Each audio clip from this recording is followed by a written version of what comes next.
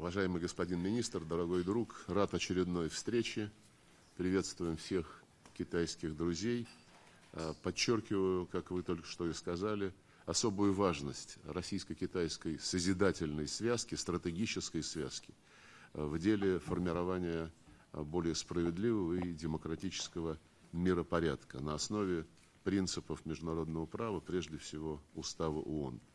И на контрасте с э, откровенно агрессивной линией Запада, который стремится сохранить свое привилегированное положение, доминирование в международных делах, наша позиция находит понимание и поддержку все большего числа ответственных участников межгосударственного общения.